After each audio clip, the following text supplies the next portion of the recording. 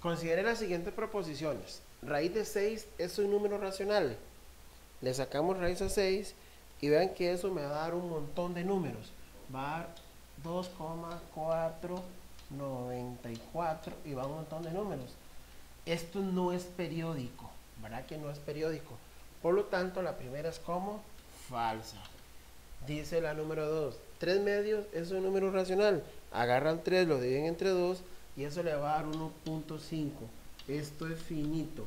Entonces, esta sí es verdadera, porque acuerden que los finitos pertenecen a los racionales. Entonces, aquí la respuesta correcta sería solo la número 2.